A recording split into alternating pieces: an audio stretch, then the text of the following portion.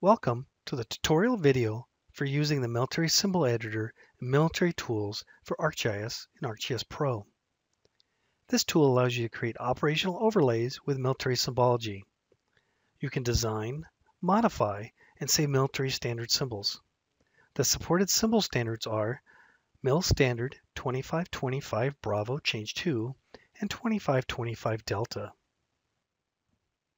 To get started, Click the Military Tools ribbon and click the Military Symbol Editor button. Before you create symbols, choose which symbol standard you want to work with by clicking on Settings.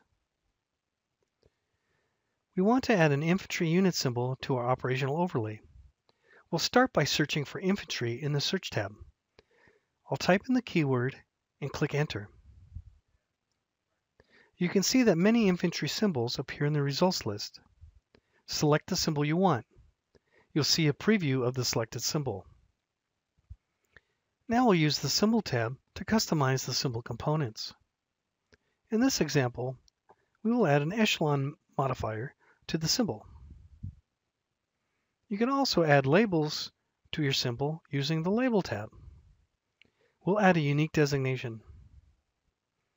At any point, you can add your symbol to the map or add it to your favorites.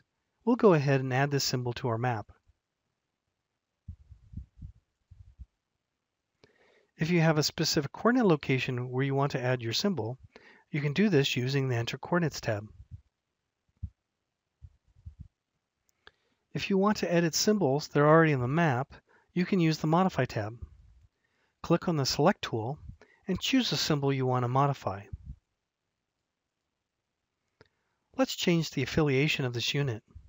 I'll click on the Symbol tab and make the change.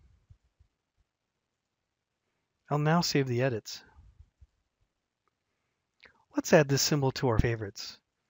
In the Favorites tab, you can view a collection of symbols you use frequently. You can also share this collection with others by saving your favorites as a JSON file. As you can see, the Military Symbol Editor is an easy way to create and share military standard symbols in ArcGIS Pro. Thanks for watching this video. For more information, please visit the Military Tools for ArcGIS website.